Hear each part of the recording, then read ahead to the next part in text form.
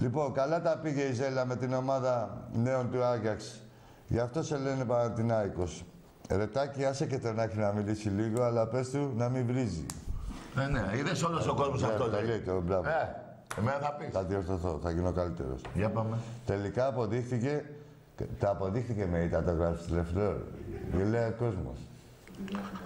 Τι γίνεται. Έλα, θα κάνουμε- όχι, θα γίνονται σωστά οι δουλειαστάκι. Δεν γίνεται τώρα Δεν με, με τα, τον Πρίτανη που έχω με βρει. τα τούβλα τώρα εδώ Με πέρα. τον Πρίτανη. Αποδείχτηκε τώρα, δηλαδή. Η διεισόμαση.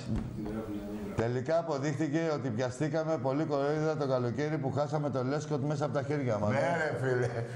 Τι χάσαμε αυτό το διαμάντι. Και λέει, που το λέγαμε εμείς, μας έκανε μπαθείς. Και μας το πήρατε μέσα από τα Ναι. χέρια. Πανηγυρίζατε.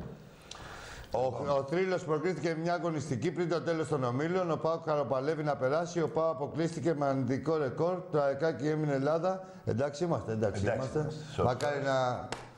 Ε, τι μακάρι, όχι μακάρι, Όχι, δεν εγώ, υπάρχει μακάρι εσύ. ρε παιδιά. Όποιος αξίζει περνάει. Αυτό, με λίγα λόγια. Τι μακάρι, με Κάτι. τις ευχές και τε, μακάρι, αλλά λέγαμε και εμείς μακάρι να πάρουμε το Champions League. Δεν γίνεται. Έτσι, όποιος αξίζει προχωράει. Ενώ εφέτος, στους 32 που περάσαμε, με μια κλήρωση πήγαμε στους 16. Ας τα διαλύματα, θα τελειώσει και μετά το διάλειμμα. Στους 16. Για μένα break. Κοιτάξτε μάγκες μου, κοιτάξτε φέτος τι έχει να γίνει. Δεν λέω πολλά, αλλά για πλάκα θα πάμε στους 8. Σταμάτα λίγο. Όχι. Να πω κάτι πριν το break. Είναι κουφή χρονιά. Δεν έχουμε και είναι; το... Κουφή χρονιά, ευρωπαϊκά. Αυτό. Μα εγώ τη λέω για μουγγί. Τι κουφίρεάκι. Μουγγί είναι. Τι είναι αυτό. Δεν τα καταλαβαίνεις εσύ.